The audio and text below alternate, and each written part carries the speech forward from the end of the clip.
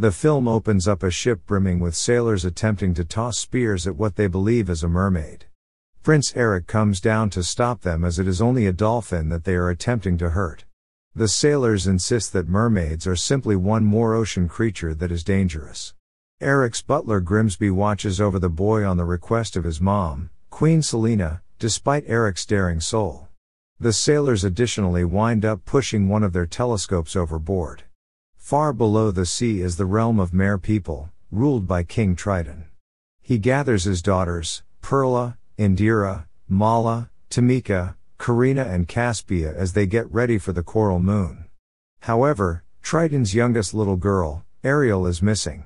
Triton sends his crab major Sebastian out to find her. Ariel is with her dearest friend, Flounder as she finds the sailor's telescope, which she keeps among her discoveries of the human world.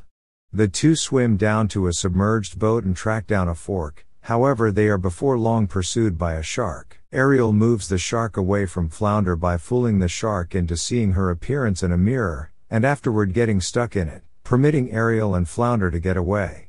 Ariel and Flounder are found by Scuttle, a diving bird that is familiar with the human world. She lets Ariel know that her fork is a dinglehopper that is utilized to style hair. Sebastian shows up and tells Ariel she missed the Coral Moon meeting, compelling her to swim back to her dad. As they leave two eels, Flotsam and Jetsam spy on Ariel sent by their master, Ursula, the sea witch. She is Triton's sister who disdains him for getting control of the sea while she was left in a pit of squalor. She subtly desires to involve Ariel as a pawn, and overthrowing her brother when Ariel tracks down Triton. He scolds her and furthermore reminds her not to go close to the surface, as people were responsible for the demise of her mom. Ariel goes with Flounder to her cave where she keeps generally her human artifacts expressing her craving to see the world above. Sebastian pursues her however Ariel sees firecrackers up above and follows the light a festival is being held for Eric's 21st birthday, and Grimsby is reminding Eric about the obligation he must take before he becomes king. Ariel is spotted by Eric's dog Max, however, Eric misses her. Minutes after the fact, a horrendous storm hits advancing towards the boat, the team makes on their rafts. As the boat bursts into flames and runs into the rocks, however, Eric is pushed over into the water. Ariel swims down to safeguard him. Ariel carries Eric to the shore and figures out how to revive him. While he is scarcely conscious, he can get a brief look at Ariel and hear her voice before Grimsby, and other men stop by to find him, and take him back to the kingdom. Ursula keeps on keeping an eye on Ariel and acknowledges she has what she really wants to pull Ariel in for her plan. At the point when Ariel returns submerged, Sebastian finds her, and attempts to persuade her that life on a surface is overrated, and everything is way better where they are. While Ariel pauses for a minute to partake on the world she lives in. She gets back to her cave where she stops to respect the sculpture of Eric that fell underwater, which she presently saves for herself. Upon Eric's return, he as his people attempted to find the mysterious young lady that saved him. Selina thinks he isn't well, yet Eric demands that this young lady has completely changed him. He runs outside, and jumps on a boat as he attempts to track down her himself. Ariel and her sisters tidy up the remains of the submerged boat that came on their turf, Ariel is still upset about Triton for his dismissal of the human world, however, he knows something different is going on. Sebastian lets the cat out of the bag to Triton that Ariel is infatuated with Eric in the wake of going up to the surface. Triton tracks down Ariel in her cave, and chastises her for resisting him. Despite the fact that, Ariel tired to argue that the people can't be in every way terrible. Triton utilizes his trident to destroy Ariel's things, passing on her to weep in sadness. Ursula utilizes Flotsam and Jetsam to contact Ariel, and draw her to her lair, while Flounder and Sebastian follow.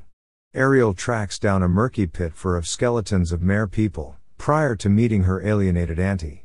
Ursula plays to Ariel's desire to be with humans, and her interest in Eric, while additionally promoting her enchanted abilities that she has used to help other people.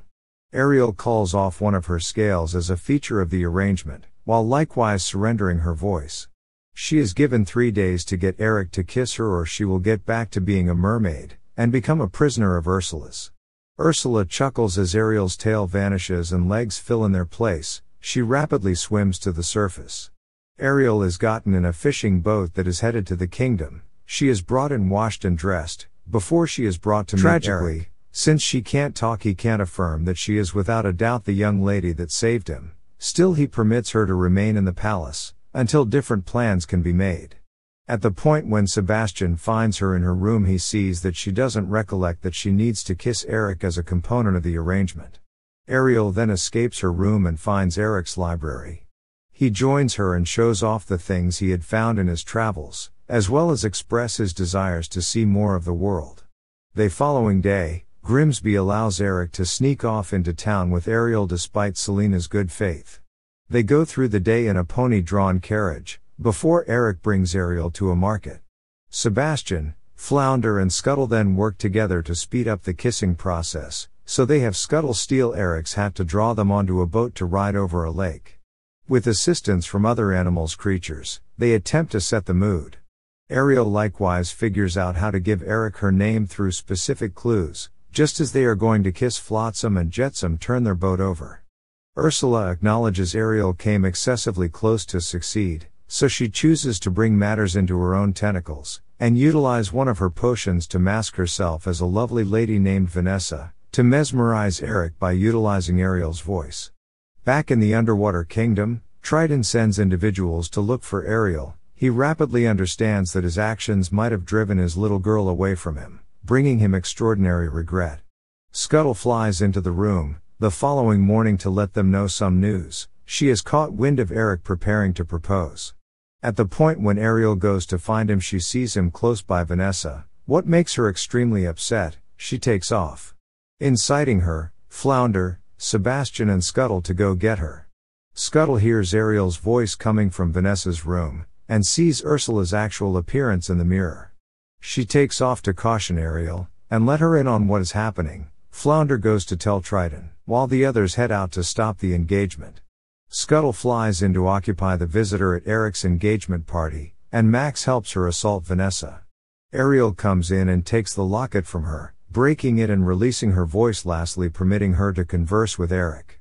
Before they can kiss, the sun sets and Ariel turns into a mermaid once more. Selina is disturbed, as she believes sea creatures are dangerous. Vanessa turns back into Ursula and she snatches Ariel prior to jumping back into the sea.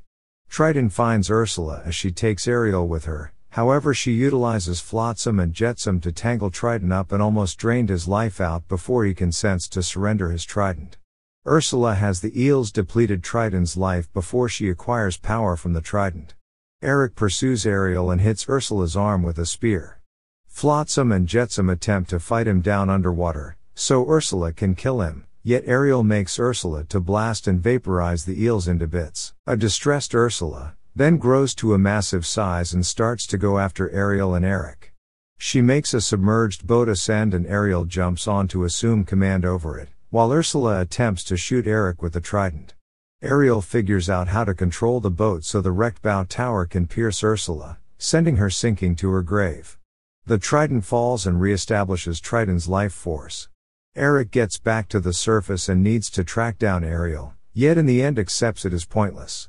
While he concedes defeat, Selina tells him, she was off base about sea creatures and her child's affections for Ariel. Later on, Triton notices Ariel watching out at the palace longingly. He understands what his little girl wants despite the fact that it implies he needs to let her go. He utilizes his trident to give Ariel her legs back and she gets back to Eric where they share their most memorable kiss.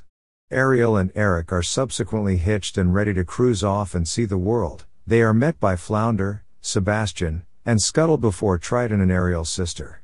Besides the wide range of various mer people show up to say their goodbye and see them off alongside the humans, now joining their two world as one and the film closes here. Thank you for watching.